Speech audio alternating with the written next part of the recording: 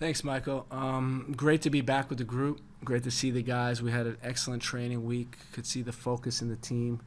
Now we get to compete against two um, potential opponents in um, in the World Cup. Uh, they can come out of Asia, so it'll be interesting to see their diverse styles and what they bring and how we can counteract that. Um, but overall, really good week. Tomorrow we'll start the game with Matt and goal, Serginho on the right, Chris Richards and Tim Ream, Antonee Robinson on the left. It's between Luca and Tanner Tessmann, um, center mid. Then we have Yunus, Weston, attacking mid. And then we go Christian, Ballo, and Timmy Weah across the top.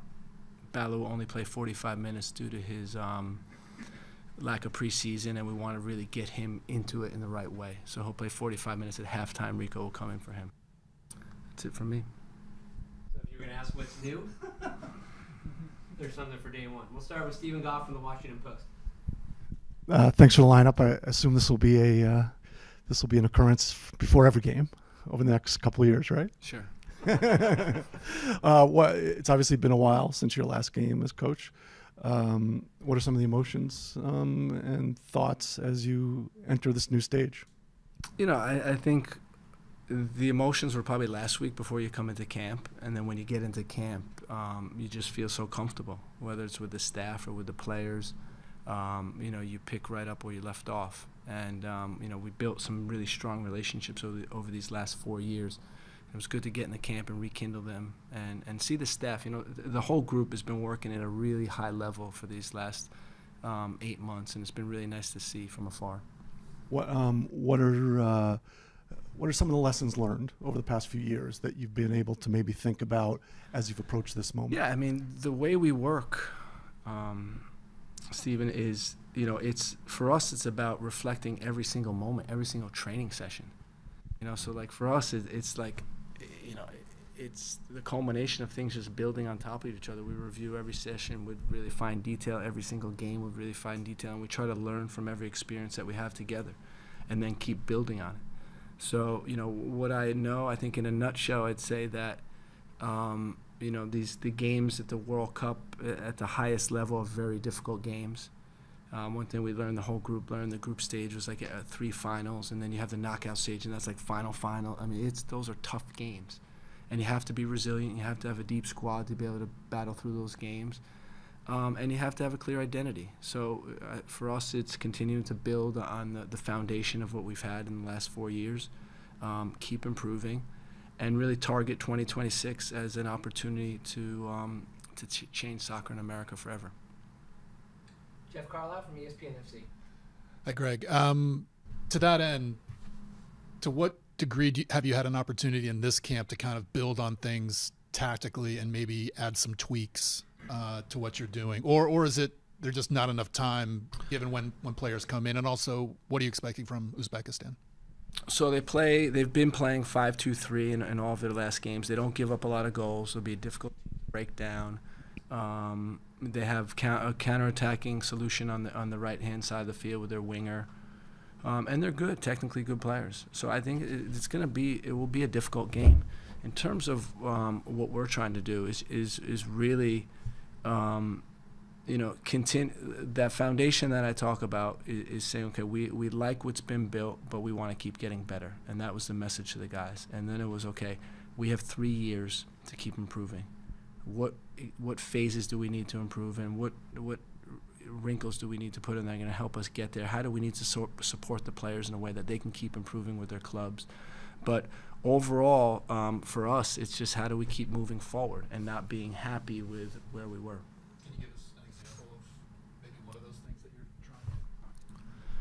It's literally in, in everything, every aspect. It's it's evolving.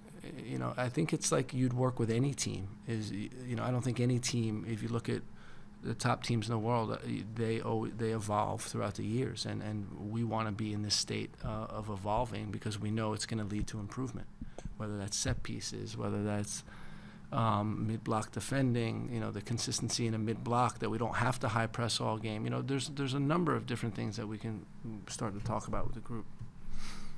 Paul Tenorio from the Athletic. Um, Gregg, you, you talked about changing soccer in America forever. Weston seemed to give us a little bit of a preview of that idea. Yeah. Um, this is a unique period for American soccer and, and the events that are coming to this country over the next few years the Copa America, the Club World Cup, the World Cup, potentially the Women's Yeah. World Cup.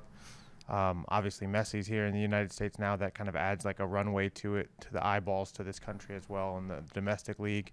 Uh, What have you laid out for the team about how to change soccer in America forever, what this moment means, and, and how you think about the next three years in 2026 and, and kind of how to accomplish that goal? Yeah, so for for us, it's um, it's it's really the work we can do in the next three years to build the group that when we go into the World Cup, we're confident that we can beat the elite of international soccer, because that's what it's going to take to to do what we're talking about doing, right? If we want to go to rounds that we've never been before, it's going to be we have to beat those teams. And we're u- use the next three years to build the team up to gain the experiences to, to that we're confident that we can actually do that. And when we say you know change soccer in america forever for me it, it's both on the field and off the field. You know we have a fantastic group of guys i think the world got to see that in the last world cup with their humility and, and how they act and, and and what type of people they are and you know i'm excited for america to get to know the group better both on and off the field Tom? No? Anything? No. Okay, great. We will go to our questions from Zoom and begin with Doug McIntyre from Fox. Thanks, Michael. Hi, Gregg. Um, two questions, if I may. First, earlier this week, you had the team meet with um, you know, program alumni in, in St. Louis. Um, what was the reason for that? Why, why did you think that was important? Um, when you talk about areas of improvement, I'm just curious how much you know, scoring goals. I mean, it's obviously the hardest thing to do in the game, but how much of that is a focus? Uh, and what can you do this cycle to make sure you're creating uh, more opportunities and finishing those opportunities uh, when they come? Thank you. Yeah, I think we know at the at the World Cup level, um, scoring goals is, is the hardest thing um, to do. Right, every team has difficulty doing that. So that's something that you're always working on. Every team, I, I believe, is is working on that. Um, you know, we can uh, detail some some principles in the attacking third, some some ways we want to break down opponents. That's that's those are things that we've been doing. Um, but overall, we you know we want to position ourselves in any game against anybody to be able to win the game, and and that's the most important thing. Um, you know that at the end of the 90 minutes, we're the, we're the team that's that's leading. In terms of what you know, this inviting the, the, the players from St. Louis that, that received a national team cap into camp. You know, one thing we have is a great respect for our her- heritage. We know where we came from. We honor where we came from. Um, we, we have a great amount of pride for representing our nation, um, representing the, the U.S. men's national team program. And it's nice to connect, I think, um, members from the past of that heritage to, to members of the now. And, and that's all we did. We honored them. We, we showed them their unique cap number in the history of, of U.S. soccer and really just spent some time with them. And I, I know, um, you know, the group appreciated it, but I know our guys did also, got, getting to meet some of those players. Next will be Ron Blum from the Associated Press. Hey, Gregg. As you come into this week, what are some of the new structures or routines that you put in place that were different than uh, the previous uh, three years? I'm not sure, Ron. I, I really can't, you know, reflect on it. What we did was we took took stock on what we thought was working really well, um, and things we thought needed improvement, and, and then we went, um, you know, set out to, to make some improvement. Um, but you know, again, I, I believe, especially seeing from afar when I was out of it, the, the group and how they function, I thought they did a really good job. And hearing about the stories and the culture within the team, it's, it's a really strong culture. And um, the way I would look at it is, again, continuing to build on this strong foundation, um, and and that's going to take time. You know, we have three years um, to do it, but you know, the foundation and the the culture within the team is very strong. Next is Henry Bushnell from Yahoo. Thanks, Michael. Um, Gregg, you, you touched on Christian on the, the Zoom call last week. Now that you've had a chance to, to see him in training for a week and even maybe even day to day away from the field, um, does anything feel different about him now compared to like last year at this time when he was obviously in a, a very different club environment and, and kind of struggling through that year at Chelsea? You know, one thing we talked about with the group um, was the amount of growth the individuals have made over the last three years or last four years. And you know, to think about Christian when we when I first met him in Dortmund in 2018 to Christian now um, is night and day, and that goes for a lot of the players. And we talked about one of the challenges for the group is going to be, you know, can they have that same level of progress in these next three years that they've had in the last four years? And because the you know Joe Scally was playing for NYCFC's youth team, you know, four years ago, and now he's a you know a consistent member of the national team. Um, you, you look at um, you know Serginho Dest where he was, and, and, and by and large, every one of the players made a huge huge strides in these last four years, and and that's what we need to be focused on in these next three years if we want to reach our, our goals.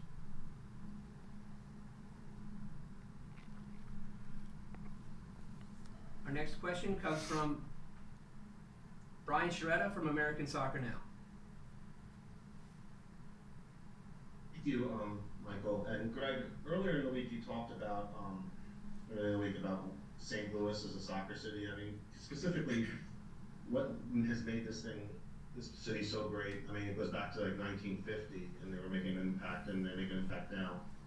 And, and, and, and the legacy kind of continues with Josh Sargent and Tim. But then also, um, that's our first question. The second one is I wonder if you can comment on the newcomers into camp and how they perform, specifically Kevin Paredes, uh, Ben Cremaschi, and Kristoffer Lund.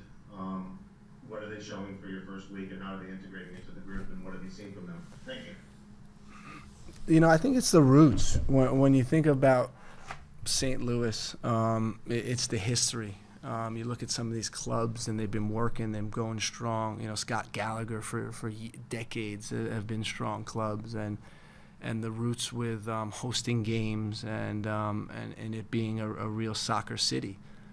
And I think the beauty of that is um, to see how soccer's grown throughout the United States because now you know you can point to other markets and markets and say, wow, they're you know they're they have their own soccer culture. You look at Atlanta, for example, how they came on the scene and, and the, the fan base there and the the um, support for soccer is off the charts. When you look at Austin, what they've been able to do, you go Pacific Northwest and Seattle with its history in Portland, and so you you know soccer's spreading across the United States, and, and it's wonderful to see. And when you get to be here and honor some of the tradition and, and the roots of the game, um, is even more special. So, you know, we're excited about um, uh, being here, and we're excited to keep playing in other markets. Honestly, to to really spread what we're doing. I- As far as Ben, um, Christopher, and Kevin, um, they've all looked good. You know, it's a young group. I mean, we played we played um, seven aside today, and we had old versus medium versus young, and like the old team is Christian, Weston, Antonee Robinson, Serginho. I mean, it's it, it's off the charts how young this group is, and to have 18, 19 year olds in, in camp is really fun, and they've been doing a good job. Next will be Joseph D'Hippolito. Uh, thank you very much. Gregg, um, what makes Matt Turner unique among the goalkeepers you have either um, played in front of or managed? And how would you describe the progress he has made since um, his days with New England? Yeah, I think the, the obvious answer to that is his trajectory, right? It's it's abnormal. You don't have a guy go to Fairfield, Fair College, Fair, Fairfield College, and then start in the World Cup and, and for the national team. It's it's amazing, and um, you know, uh, it all has to do with him, what type of person he is, he is, and his work ethic. Um, it's been really fun for me to be part of that entire process. Um, you know, I remember when when his coming into his first camp um, you know, we're doing a training exercise, and he, he receives the ball and he goes to throw it, and then he, he second guesses himself and throws it into his own goal. And I immediately sent Bruce the text and said, "We're getting your guy ready for pre for the season, Bruce." But I mean, that's literally how far Matt Turner has come, and it's been in you know I think that might have been in 2019, and three years later he's starting the World Cup. He's a tremendous guy, tremendous work ethic. Um, his learning curve is steep. He learns really quickly and applies it. And you know, I think he's got um, a long career in the Premier League ahead of him. Next will be Joseph Lowery. Thanks, Michael. Thanks, Gregg, for taking the time. You gave us the 11 earlier. Obviously, had was in there. What were your thoughts on him playing in a deeper role over the summer, the U.S., and, and could he be someone that deputizes more often for Tyler Adams when Adams is maybe unavailable or against certain types of opponents? Thanks. I think so. I mean, it's it's all about the game plan, and, and we expect this game, um, you know, to be a, a, little bit different. We want someone. Um, in that position that is will be stable in that position, be able to get the ball to him in dangerous positions. That's the idea. Um, so you know, for him, we, we like to free him up, give him a chance to run. I think one of his greatest qualities is running with the ball. We want to put him in, in position to do that, attack the back line when he gets an opportunity to. Um, but you know, he's he's an, I think another one with a disjointed preseason. He's getting now he's at Milan. I think it's going to be a great move for him. He's comfortable there and it will be nice to see how he develops over this fall season. And for us, we want to put him in position to go back there and, and be on his best foot. So giving him his game time, I think, is, is really important. We'll go to Sanjay Sujan Thakumar.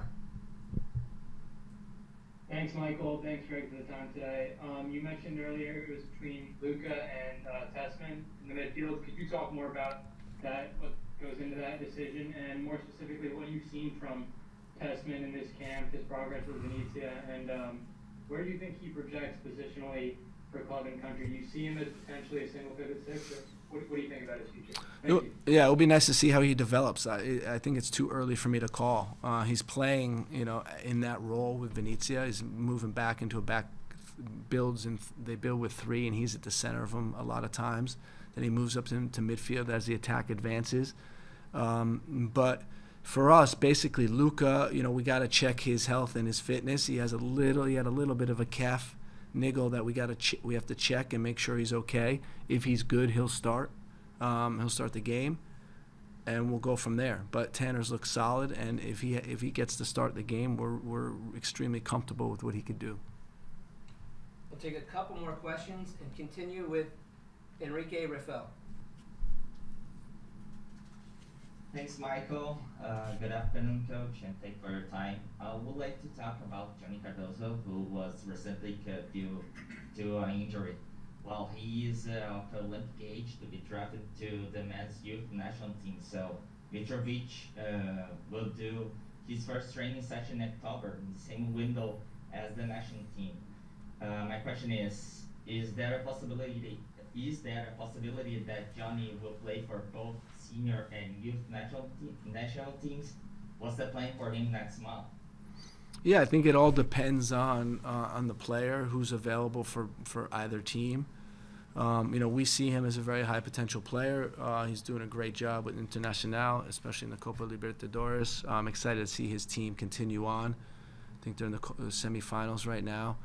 Um, and we'll see. We'll, we'll take it as it comes. But he was a guy that was supposed to be in our camp, but had to pull out because of injury um, on the weekend. And um, and we'll keep monitoring him and, and hope he gets back on the field, and then he can join um, either group as we go forward. Next is Hector Lazzeri. Thanks, Michael. Hi, it's Hector Lazzeri from Claro Sports in Mexico City. I wanted to ask Gregg, uh, this cycle is going to be way different than the other qualifiers uh, you are not going to have you know, all the vocal qualifiers. You're not going to have uh, Nations League in this in this window. You're going to be playing mostly friendlies. What is the plan to have great matches with rivals, uh, the, to have the experiences that you are trying to, to get to to have the proper preparation for the 2026 World Cup, and not only having like friendlies against the same rivals like the other hosts or maybe some teams like right now Uzbekistan and Australia that are perhaps not the rivals that fans are looking for? Yeah, I mean, I, I think in this window in particular, um, getting the opportunity to play play against Asian competition when we won't be able to do that, you know, for the next two years uh, is valuable. I mentioned that these are two teams that could potentially be in the World Cup, so I think it's nice to be able to play them looking out for the rest of the year, we have friendlies in October against Germany and Ghana, which will be good games. We have Nations League in November, Nations League in March. So that's a chance to win um, another trophy for this group, and which we're focused on, and will also get us into Copa America in the summer. So then, finishing out the rest of that year or that summer, we'll have um, friendlies that we, we hope to play good, strong opponents in June, and then Copa America, which we know is going to be a very competitive tournament. So I, I think that for the for the um, that first year of the World Cup is um, you know is an exciting year, and um, it, it's going to help build the group for sure. Our last question today comes from Andrew Jones. Thank you, Michael. Gregg, just want to ask you how did Christian and Wesley feel about being part of the Oak Group? And your thoughts about the added time being implemented in the UEFA Big Five leagues this season and how it's been going in your mind? Thank you. Yeah, they were shocked. I think that's something that they were um, really surprised. They don't know how time flies. They, they th- still think they're, they're the- one of the younger guys in the team, and they're not. They're senior players, so they're really surprised. And I think they um, they didn't take it too well. So we'll have to talk to them this afternoon, get them in better spirits. Um, you know that the time question is a really interesting one. What, what do you guys think, Paul? What do you think? Uh, I think I think you have to do it to try to change the way teams approach stoppages during the game. Yeah. It's a long play. I, I, I agree. I, agree with that. I- It's I think it's in soccer we like tradition. We like things how they've always been. But I agree that this is I think this is a way to, to for the fans to get their money's worth, to see the amount of time in play that they deserve, and it can potentially change tactics from from players when they're staying down because they know the time's added anyway, and it's not going to do any good for them to to stay down on the field and, and waste time. So. I think I'm in favor of it, but um, I reserve the right to change my decision.